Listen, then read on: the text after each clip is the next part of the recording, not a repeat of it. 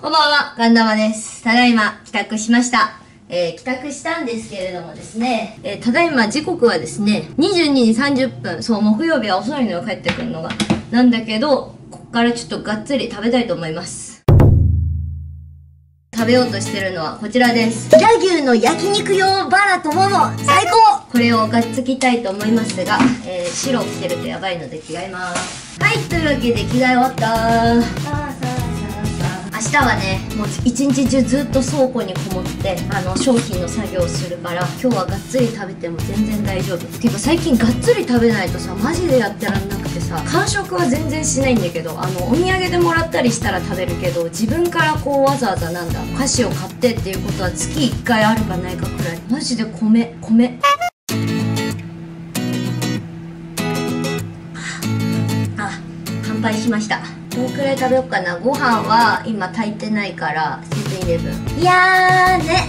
あーあーなんか今日帰ってきた。てーいい感じのお肉を。レンチンで解凍するのがなんか嫌だけど。牛脂まで入ってるよ牛脂。最高かよー。これ絶対一人で食べたら結構な量だよね、まあ、食べれちゃいそうだから食べちゃうけど。焼肉これさそう家にプレートがあればさこう焼きながらさ食べながらさできたけどさそんな準備はしてないっていうしょうがないのでフライパンでガンガン焼いていく。あすごいすごい焼肉の匂いがする。昨日さ後輩をさ連れてさお気に入りの居酒屋さん、まあ、居酒屋っていうか魚料理屋さんに行ったんですよね。そしたらさみんなさ全然食べないの。私一人でガツガツ食べててなんかすごい寂しかったよね。なんか最近のね自分より年下の人たちっていうかもう男性ってそんな食べないのかなと思って。あいいよちょっといや焼いていくよ。なんかこれつかみ全然まだまだ凍ってんじゃん。めっちゃうまそうなんだけどやばあー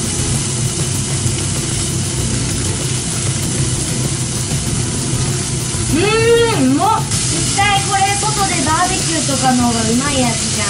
一人で食べるのが寂しいわ。あブロッコリーもやろうとしてたんだ。見てえ。ちょっと全然女子力向上じゃないんだけど。まあいいや。いつもじゃん。肉とブロッコリーと米。はい。なんか曲がってる？まあいいか。いただきます。ふう。もう11時よ。11時にこんなカロリー高いもの食べていいのかしらね。いいのよあーはーい食べまーす。いただきまーす。いいやそのまんま。うん。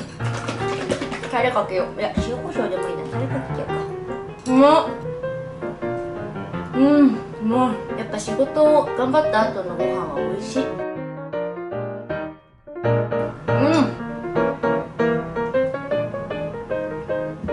ん。あーうまっ。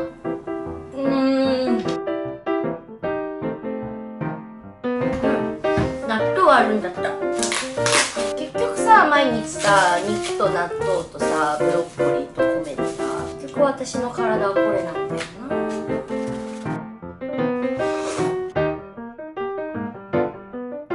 な。ラストだけど米がまだいっぱい。あ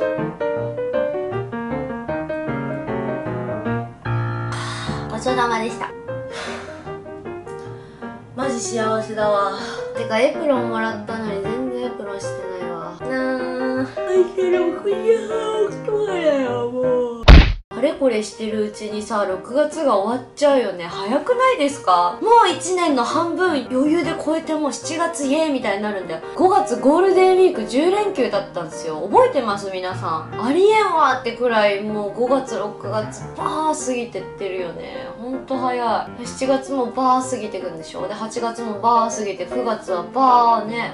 バーですよ。バー。あのー、よく行ってたおかまちゃんのお店がねあのー潰れたんですよね。オーナーは別にいいんだけど。そうそうそうでおかまちゃんとも全然会わなくなって、まあ、連絡はちょいちょい取ってたけどでこの間久々におかまちゃんが新たに働き出したとこ行ってあーみたいになったけどいつぶりみたいになったらさおかまちゃんとさ年末から会ってなかったんだみたいになって半年間会ってなかったの。早いね月日って。一日一日を無駄にしたくないけどさとりあえず今年の夏はみんなで選挙に行きましょう。はいご視聴ありがとうございましたバイバイ